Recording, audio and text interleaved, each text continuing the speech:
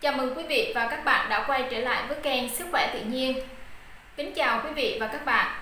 Thay mặt những người làm chương trình, chúng tôi xin kính chúc quý vị và các bạn dồi dào sức khỏe và tràn đầy niềm vui trong cuộc sống. Vợ chồng khi ngủ cấm làm những việc này kẻo tổn thọ chết on mà không biết. Rất vui khi được gặp lại quý vị và các bạn trên kênh Sức khỏe tự nhiên.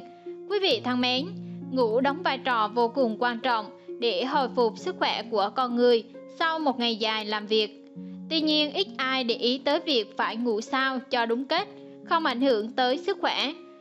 Các cặp vợ chồng khi ngủ thường có một số việc làm tự tạo ra để tăng thêm tình cảm, tăng độ thân thiết giữa vợ chồng. Thế nhưng hành động được cho là tình cảm ấy lại gây hại không ngờ tới chính cặp vợ chồng đó. Đặc biệt hơn, chúng còn làm tăng khả năng mắc bệnh, thậm chí còn làm suy giảm tuổi thọ nghiêm trọng. Đây là những thói quen mà người vợ và người chồng phải nhận thức rõ để tránh không làm và tạo ra những điều không tốt cho sức khỏe của chính bản thân mình.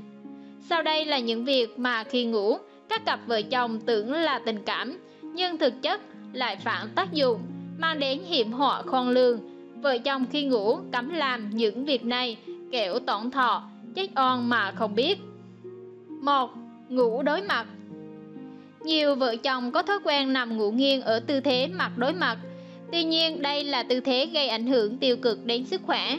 Bởi trong khi ngủ, mặt đối mặt rất dễ khiến chất lượng không khí suy giảm. Trong quá trình ngủ nghiêng, cặp vợ chồng ở quá gần, hít thở oxy trong quá trình hô hấp và thải ra khí carbon monoxide có thể khiến não thiếu nguồn cung cấp oxy cần thiết. Sức khỏe của não sẽ bị ảnh hưởng theo thời gian. Người ngủ không sâu, dễ tỉnh giấc, giật mình, mộng mị, hoặc khi ngủ dậy luôn có cảm giác mệt mỏi, đau đầu. Do đó, vợ chồng nên chú ý vấn đề này khi ngủ chung giường. Khi ngủ, tư thế phải hợp lý và tránh ngủ theo tư thế mặt đối mặt. 2. Dùng tay thay gối Trong khi ngủ, người vợ thường thích ôm và dùng tay người đàn ông làm gối. Thói quen này có tác động tiêu cực đến sức khỏe. Mặc dù hành vi này có thể làm tăng cường mối quan hệ tình cảm giữa vợ chồng, nhưng thời gian dài, vợ gối đầu vào cánh tay người chồng để ngủ, rất dễ gây áp lực lên cánh tay.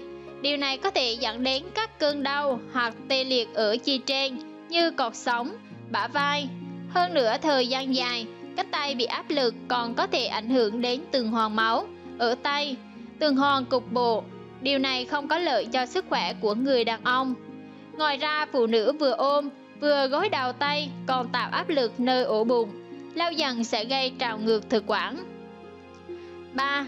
Trùm chăn khi ngủ Nhiều cặp vợ chồng thích trùm chăn kín đầu và toàn thân để đi ngủ, đặc biệt là khi sợ hãi hoặc trở lạnh. Đây là thói quen không tốt, ảnh hưởng xấu đối với sức khỏe của cả hai người. Trong quá trình thở, cơ thể hít khí oxy vào và thở ra khí CO2. Khi đầu bị trùm kín, khí oxy trong chăn ngày càng ít đi, còn khí CO2 lại tăng lên. Vì không được cung cấp đủ dưỡng khí, nên đại não sẽ hoạt động kém đi. Tình trạng thiếu oxy kéo dài sẽ khiến các tế bào não bị tổn thương. Các cặp vợ chồng ngủ trùm chăn sẽ cảm thấy tức ngực, thở gấp, hoặc nửa đêm thấy ác mộng, lo sợ. Sáng ngủ dậy, toàn thân mệt mỏi, như vừa trải qua hoạt động nặng.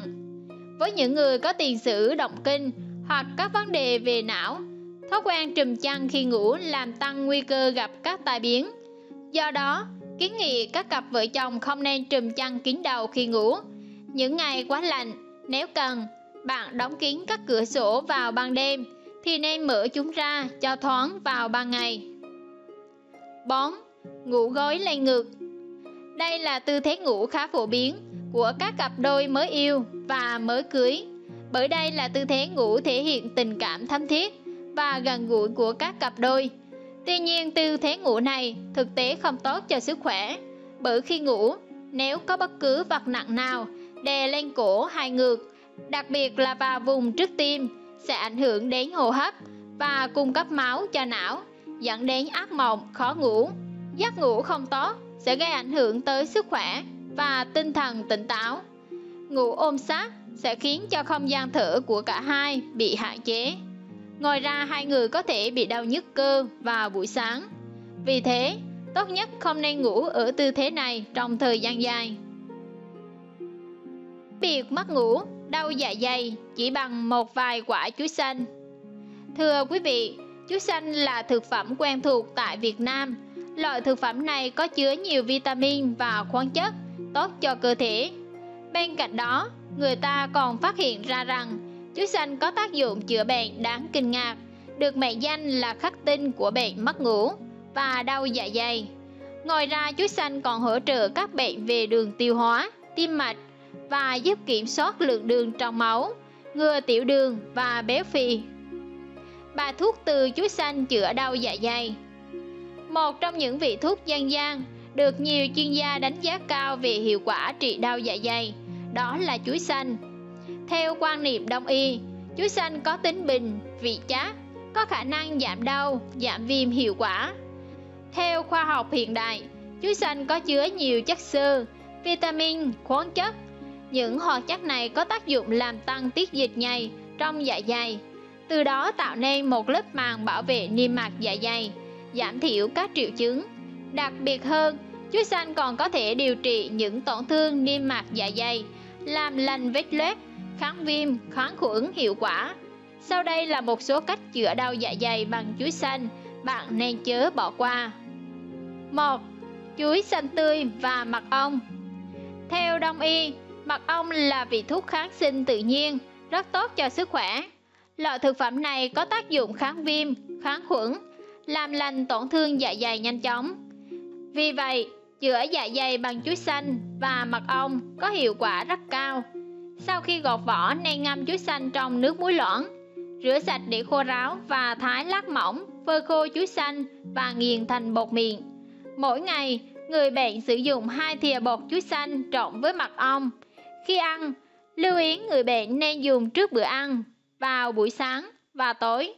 Kiên trì thực hiện, cơn đau dạ dày sẽ được giảm đáng kể. 2. Kết hợp chuối xanh với các loại thảo dược dân gian.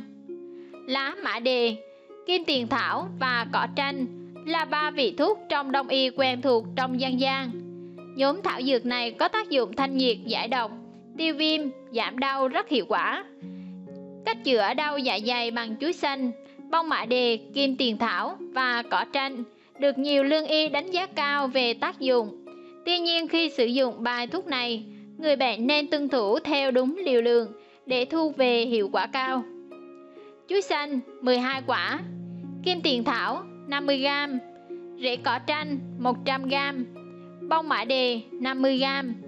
Chuối xanh rửa sạch, ngâm với nước muối loãng, thái thành từng lát mỏng và sao vàng trên bếp lửa.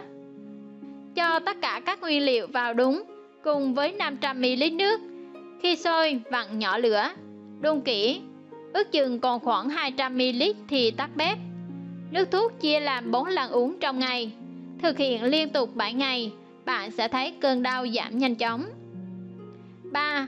Cách chữa đau dạ dày bằng chuối xanh và rau diếp cá.